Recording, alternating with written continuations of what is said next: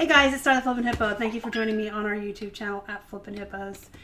Um, today is going to be an update on cross-posting from eBay to Poshmark. Poshfest was just a couple of weeks ago. A lot of resellers went and came home and they were excited and they were making videos and talking about Poshmark.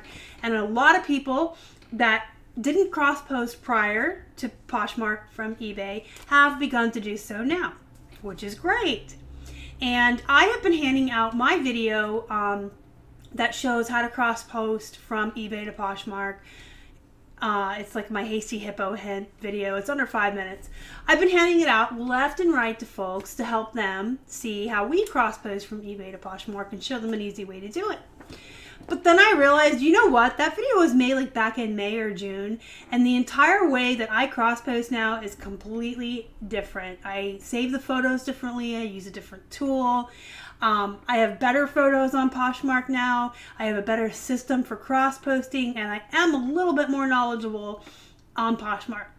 So I just wanted to come in today and do an updated screen sharing process with you guys on how I cross post from eBay to Poshmark, um, including the new tool I use for my photos, how I copy and paste and why, and just kind of talk you guys through how I do it now, June, five, six months later, um, now that I have some experience under my belt and I know a little bit more.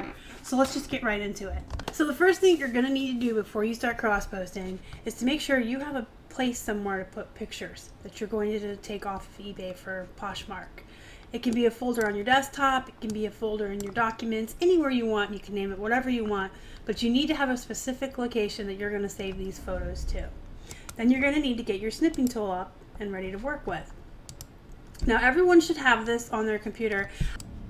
Now I can't speak for Apple products because we are we do not use Apple products. So I think you guys have a tool that's similar to the snipping tool that you can use. If you have the snipping tool, that's great. Like I said, we don't use any Apple products. Keith and I um, aren't fans of Apple, so we um, aren't familiar with their systems or what they have. If you don't have a snippy tool right here, mine's probably just there because I use it a lot down here in search programs and files. You can type snipping tool and it will pull it up for you. And then you can just leave it right there like that. It'll show up in your taskbar as well. And then you'll want to make sure on the internet that you are in your active listings on eBay and you're ready and signed in on Poshmark. You can see the hippo signed in right there. So then you just pick what you're going to cross post. So I'm going to say that I want to put these Gap corduroy pants on Poshmark. And I'm just going to open them up just like this I'm to open my snip tool. If I drag from corner to corner here, it makes a perfect square photo. And then you're going to um, just ask snipping tool to save. The first time you do this, you're going to have to pick that location I told you that you needed to make. And I'm just going to name it A. Okay, now moving forward, every time you ask your snipping tool to save, it is going to automatically go back to the last place you used. So I'm doing the same thing again with the back photo of the pants. You see how pretty that is? And then I'm going to ask it to save. It'll pull up my location right there. And we'll just call this A1. And then you'll go through and do it for the rest of the photos. Just drag it from corner to corner. You get a nice square photo that you can use for Poshmark. Poshmark likes to have those square photos and this tool allows that to happen precisely and beautifully. It's very simple. So that time I just pressed Control S on my keyboard to save. It's a little bit faster of a shortcut. Then I'm going to highlight my entire title and copy. The reason being is because on Poshmark, unlike eBay, the searches for, for keywords look at your description as well as your title. So when people on eBay do a search, it's only going to look at your title. And that's why we always talk about cramming in the keywords in the specific order and the perfect formula for your eBay titles because that's all the search is looking at. On Poshmark, it looks at your title as well as your description. So if you have a keyword in your description but not your title that someone searched for, you will come up in the search. Pretty cool, right? So then I'm on Poshmark. You saw me push sell on Poshmark. Poshmark now I'm on the page where I'm making a listing and I just have to find my, my place where I save those. Again, this is like the first time you do it and then after that it will automatically go to that place for you. And you can click on the first one and then push shift on your keyboard and click on the last one and it will select them all. You can have up to eight on Poshmark if you had more than four, like I have just four for this. You can have up to eight. And then what I do is I go down here and I paste that title that I copied from eBay. And I just kind of pull from that what I want my title here to be. You get less space in your title here. And so I try to like be a little more selective about what I include in my title on Poshmark because I have less space, but because I also know searches are going to pull from my description as well. So my title is not as important um, as far as keywords and smashing in as many as I can get, I guess. And there is no perfect formula or specific way you need to put stuff in on Poshmark titles. Again, a nice a nice thing on Poshmark that is different on eBay. So I just kind of put what they are. These are boot cut. I'm talking and typing. That's corduroy pants. That's it. That's all I'm going to put. Maybe I'll put brown. Maybe I'll put Gap, boot cut, brown corduroy pants. That's good enough. Then what I do is I go over to eBay one more time and I go down to my description and I copy that, part of it anyway, and I enter twice and I paste that. And you'll see that I leave the title from eBay in at the bottom. That's fine. I have my description here and I have the title from eBay. It kind of repeats some things in the description here on Poshmark, but I like to have that title down there at the bottom as well as my description from eBay because I'm keyword cramming in my description on Poshmark. Whereas we keyboard keyword cram in the title on eBay, on Poshmark, I do it in the description. We get less space in the title and the searches look in both spots. So I do all my keyword cramming here I select my category. These are going to be pants. These are boot cut. They were a size one.